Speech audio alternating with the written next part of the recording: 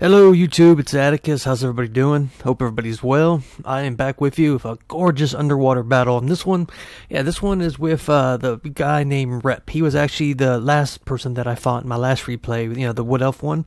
So yeah, I uh, did another game with him, and this one was so good. It was um, really cool, thematic, under the water, and it's a Dark Elf game uh, versus Skaven. So let's go ahead and just jump to the builds, and I'll show it to you guys. So yeah, for uh, my Skaven, or excuse me, for my Dark Elf Lord, we are trying Crone on foot, and that's for a few reasons. Uh, one, she's really good in this matchup. Uh, for two, she'll be on foot, so she won't be getting hit by uh, warp throwers or warp lightning throwers. And for her Gaze of uh, Khaine, which is that area of effect buff that it's like a cloud of blood that will buff up your unit. So when you eventually do get into the um, combat, she's just a really good tank. And if you think about it, Skaven, all, all Skaven lords are pretty much going to be on foot, except for you know the warlord up on a bonebreaker or the ones on altar. So if he if he goes Lord Skrolk or anybody like that, Crone, uh, Hellebron will absolutely just spank him. So I think she's really good in this matchup, guys. You got to protect her from getting uh, sniped down from like gutter runners, and she doesn't have a lot of armor. But yeah, if you protect her, she'll do a lot of damage. And I do believe she has a little bit of a physical resist. Uh, yeah, 38% physical resist and some magic resistance, which is even better, uh, you know, when fighting against Skaven, which are really magic heavy. So, all right, so yeah, for my front line, guys, we got Blades of the Blood Queen. Um, also got to think that some of that physical resist that uh, she's getting is from these guys just because they have the guardian trait. So keep that in mind. I believe she has like a 15% uh, just base uh, physical resist. I'll have to look into that. I'll put it in the comments. So we have three Har Ganeth Executioners. Um, being that this was a, a map that I was going to be getting, uh, I, I kind of looked at it, but you know, if you look here in the little mini map, you can see it's going to be kind of choke pointy. Um, so when you know what map you're fighting, it kind of helps you. So having these guys, I need something that's going to hold and just going to chew through his units. Also have a couple unit of spears just to pad out the numbers. We have a Black Ark Corsair of Handbows here in the back, and I just absolutely love these uh, these units here. These guys have so many uh, practical applications. I mean, things that you can apply them to, units that they'll actually counter. And yeah, I mean they have 80 armor too. And guys, we took a risky pick. We have the Kharibdyss, and this is obviously for the Abyssal Howl, uh, which is a minus what is it eight or is it ten somewhere around there uh, leadership debuff and a radius around him. So you have him you know, slamming into the middle here, it's just going to terror out all these guys. You know, the Skaven already suffer from low leadership, and I mean he's anti-large and poison, so this will you know deal with. Um, uh, Hell Pit abominations. It's just trying to get him in, get him uh, there on the approach is the dangerous part. You know, if, if I could get him past the warp lightnings, well then he'll really pay for himself. So um, also have a Cold One Knight over on this side, guys. And we have a sorceress of beast, and if you see, I just took her on foot. Uh, she's you know cut down all her abilities, and all we brought was the uh, Manticore. So yeah, you've seen me do this a few times in some of my other replays. I'll just hide a sorcerer somewhere, and uh, you know the whole game she'll just be casting her Manticore summons. Um, also have a harpy over here, guys. And I believe there's one over here as well. Yeah, there's one right here. So that's my build. Um, let's go ahead and look into uh, Rep's build here, and he set up kind of cool. I like this idea. You can see he split up his forces. So he has Army Group 1 right here, which consists of a Warp Lightning Cannon uh, with a Spear unit, Clan Rat Spears in the front, and he has some Gutter uh, gutter Runners with slings, uh, poison ones, I believe, uh, here in the back. So what this does is it uh, forces me to have to split up my you know my forces. He's going to have a good line of sight from over here, you know, that can shoot me from the left on the approach. And yeah, I mean, it's just like I said, kind of just has to make me have to, uh, an extra thing to think about since he is going to be playing defensive. And you can also see he's set up on this hill right here, so this is going to be a really hard approach. Either way I attack him, I have to go up a hill while getting hit by uh, artillery. Um, for his lord, guys, he did bring a Grey Seer of Ruin, which is a cool pick. You don't really see a Grey Seer uh, a lot. I don't really know the Skaven spells, so I won't be able to... Um, name them all, but I know he has the lightning one that comes from the sky. You know, uh, Whirling help, Wailing uh, Warp Gale, is that what it's called? Something like that. Um, he has another uh, Warp Sweating Cannon right here up on the hill Hell Pit Abomination with a silver chevron. So yeah, it's really good that I brought that Kharibdyss. Let's just hope that I can, you know, he'll survive long enough to get here. Front line of with spears, some Clanrat shields, and then yeah, guys, we have some Death Deathglow Bombardiers, and these are the anti-infantry one, as you can see here, not the anti-large. So you know, as my troops are already trying to going to be slowed up on this approach, these guys are just going to be shooting in, and it's a really good strategy. I like that. He has a back line of Storm Vermin with shields, which is really good. They're going to last forever. He has a couple Gutter Runner with slings over on this side, and yeah, that's about his build. So let's go ahead and start it, guys, and we'll see um, how this goes. So right off the bat, as I like to say, um, my harpies. This was about as far as I could vanguard them. and I'm instantly gonna get shot by that warp uh, cannon. It was gonna drop, you know, one, two, three, four models. So that sucks. So I, you know, keep in mind, I don't see that these gutter runners right now. So I'm like, all right, I'm gonna go ahead and just land these harpies, you know, straight into them. But yeah, guys, these guys are gonna get absolutely shredded. I mean, just watch from their perspective what happens here. Shred, shred, shred, shred. Pretty much a whole unit of harpies just dies before they have a chance um, to even land. So yeah, that's a really good uh, pick for rep. Over here, though, you can see I got some cold knights. I'm just trying to buy some time, get my units up ahead. And you can see he's going to start opening up with his um, warp lightning on the left flank and start shooting into my dread spears, which I'm okay with. As long as he's shooting them and not my other units, we're, uh, we're okay. So yeah, my forces are moving up here. We have a long distance to you know to uh, traverse. So no matter what, guys, I'm just gonna have to take the damage.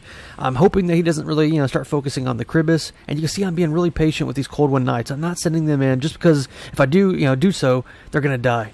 Over here, though, I am going to start moving up my harpies, and I was thinking about landing him, uh, landing him right here, but I figured no, we're going to land him over here. I'm going to be really patient. I'm not going to send him in since we've already lost pretty much one unit. And now this is what I was afraid of, guys. The Kharibdyss is going to start getting shot by the warp. Um, warp lightning cannons. You can see that I'm going to try to veer off a little bit to the left, a little bit to the right, just trying to do anything, you know, so I'm not an easy target. Here comes another volley. Oof, direct hit couple hit dodges, couple hits, but yeah, guys, this is really unfortunate for my Kharibdyss. Luckily, it has a lot of you know life, so it's gonna live or it'll live for a while. You can see I am going to split up my forces a little bit, guys. I'm going to send a spear unit up ahead to uh, use their shields to kind of screen out for these gutter runners, and we're going to take a Har Ganeth Executioner up this hill as well because all he has defending it is this uh, Clan Rat with spears, so he won't really be able to, you know, hold up against a Har Ganeth Executioner. And I still have these Cold One Knights over here. You can see I've kind of hidden him behind this wrecked ship right here, I'm just trying to keep them I'm going to need them in the late game. You can see over here the Sorceress is starting to walk. I figured I'd have her a little bit closer to cast her Manticore Summon, and yeah, here we go, guys, up on the approach. And you can see that Crone Hellebron is rushing ahead of her troops on this really thematic, cool, you know, charge of the hill. I am going to get my Manticore summon there in the back, as you can see. And yeah, my Kharibdyss is about half health, guys. So here she goes, rushing ahead. Um, we have a really scary uh, Skaven uh, defense force here. But yeah, that Kharibdyss is just getting hit so bad. But you know, I have a lot of dangerous troops here. I have Har Ganeth Executioners. You can see Crone Hellebron is going to rush ahead. She's not going to give two Fs, and she's going to start charging. And here, as soon as my other forces catch up, um, I am going to cast Gaze of Khaine. But Rep is going to get a really good uh, one of his lightning spells right onto my grouped up units, which is really unfortunate. But there we go. Let's go slow it down here for a second. I'm going to get Blaze of Khaine, or the Gaze of Khaine, which is, you can see right here, guys, giving me melee attack, weapons damage, leadership, and yeah, this is going to be really good for me. It's going to um, create my guys just to be lawnmowers to the Skaven units. Over here, you can see the Manticore summon I uh, did cast. I instantly going to send him into the back. I need to shut down these Death Globe Bombardiers, which I will do here shortly. And over on this side, guys, you can see the Harpies. Um, both units, I am just landing, trying to shut them down. Now over here, you know, my opponents are starting to fight. The Clan Rat with spears are trying to hold off Har Ganeth, uh, executioners and dread spears. All meanwhile, these guys are you know shooting into the back. But yeah, balance of power though is really strongly in my favor as uh, in reps uh, uh, side right now. So it's not you know looking too good for me, even though we are looking good here in the center. Let's go ahead and speed it back up here. Uh, my opponent has a full health help abomination, and my Kharibdyss is almost dead, and it doesn't have regeneration like the others. Here in the back, guys, you can see the gutter runners and the Death Globe Bombardiers are just doing a lot of damage. I mean, this is such a good unit, but Look how quick we're able to shred through his front line. And by doing so, we just closed, you know, shut down one of his uh, artillery units. And over here, guys, you can see my Summon Manticore is going to get into the back of these Death Globe Bombardiers. So yeah, they'll pretty much be worthless as well as they're, uh, you know, as long as that unit's alive. Um, the Kharibdyss and the, the uh, Storm Vermin are going to start battling right now, guys. Let you soak up a little uh, cinematic battle right here, and it's just so cool watching these guys under the sea, you know, fighting. I'm going to get another uh, Manticore summon, guys, and you can see that I have some my Black Ark Corsairs is providing a little bit of Overwatch. Opponent is going to get another good lightning spell, though, guys. He's gonna. It looks like he kind of was off a little bit, and he hit a lot of his own Storm Vermin into the back. Over on this side, guys, you can see we have shut down the Warp Lightning Cannon, but my opponent, it's going to slow it down just one more time here. My opponent was able to send one of his Storm Vermins with shields uh, that were on the other side to try to reinforce this side, but I think it's kind of a losing battle just because Storm Vermin are good, but against Har Ganeth Executioners, they're not going to survive. Um, he still has this unit of uh, Gutter Runners, though, who are alive. If these um, Spear were to die, he could start shooting into these Har Ganeth Executioners. Over here, my second summon of the uh, Manticore is going to land on these Death Globe Bombardiers, and this is what I really needed. I needed to shut those uh, guys down, and you can see on both sides, you know, they're getting shut down by that.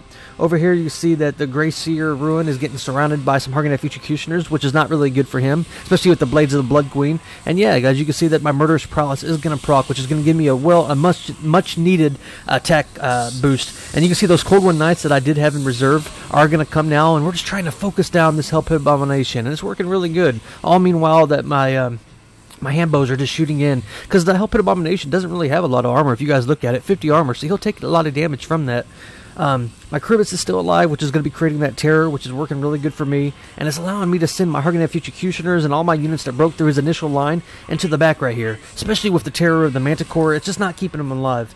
Now, you know, the Hell Pit Abomination does have the too terrible to die, but it didn't proc. Fortunately, unfortunately for him, he's going to get some Skaven Slave uh, spears that burst out of the dead body. But yeah, it's not going to be enough, um, especially with the units that I do have. Over here, the Gutter Runners are in combat. They're in melee with these Dread Spears, and yeah, they might beat the Dread Spears, but you know these Har Ganeth Executioners are almost at full health, uh, so it's looking really good for me. Um, all across here, guys, you can see that he is the Skaven player is starting to pull back. And yeah, he's starting to go into little coves and uh, little coves and little areas that's hard for me to chase him. But you see the Blades of the Blood Queen are right. Looks like they're going right off the cliff there to chase those guys, so they're getting a little blood hungry. Um, yeah, at this point, guys, it's really the terror causing of the Kharibdyss and the Manticores. It's just really breaking his lines. Um, you can see that we're chasing these guys down the hill here. Uh, I still got Crone Hellebron at really good health. And yeah, he does have some Death Globes, but there's just too much infantry up on his tail. He's not going to be able to really deal with them. And over here you can see that my Cold One Knights are going to collapse in on these units of uh, Death Globe Bombardiers. Um, he has a unit right here that are coming back, but yeah, short of a miracle, it's going to be really hard for him to come back. You can see that his remaining units are starting to waver, and army losses should be defeating him, and that will be a win for the Druchii. So, very cool, very uh, thematic battle under the water. I thought that was a really neat one. I was happy to show it to you guys. Uh, really good strategy by Rep. Good game to you. So let's go ahead and look at the in-screen breakdown to talk about some of the keys for my success. And uh, yeah, I mean, I think splitting up the army, sending a unit of Har Ganeth executioners to shut down that right flank was really important. Um, and uh, yeah, I mean the Manticores are always. I mean I know that's in the meta right now, doing the Manticore summons just because it's so good. But um, I definitely would say Crone Hellebron with that Gaze of Khaine, uh, Khaine being able to crush the front line um, also contributed. Also, you know, guys. Um, you know, when, when, you're when you're fighting Skaven, a lot of times I'll say that I'm scared to bring a monstrous unit just because you know they have so much artillery. But you saw it. I mean, on that whole long approach, guys, it only got it really down to with two cannons. It was only able to get it down to you know about half health, a little bit below half health, which still left me a lot of you know usage usage for it once it got into the front line. So, I guess what I'm trying to say is don't be afraid to use your monstrous units. I mean, I guess it also depends on the map too, but you know, yeah, sometimes it can really pay off because if I wouldn't have that Kharibdyss that Hell Pit Abomination would have just destroyed my front lines, guys. I didn't have any dedicated anti-large except for these Cold One Knights, you know, which would have been hit by the Warp Lightning Cannon. So, yeah, I, you know, don't, don't, be afraid to take it. And as for Rep, good game again. That's twice if you've been on the channel now. Um, way to be a good sport, and uh, I liked your build. Having these Globe Bombardiers uh, would usually work. I, I, was just able to counter them with the you know the Manticores that landed right on them, and yeah, splitting your forces like that was really cool. So, and he also had some really good uses of his uh, his Grace here, some of his magic attacks. So, all right, guys, it's Atticus. Hope you enjoyed that uh, Dark Elf play, and I'll see you next time. It'll be another Dark Elf game. All right, bye bye.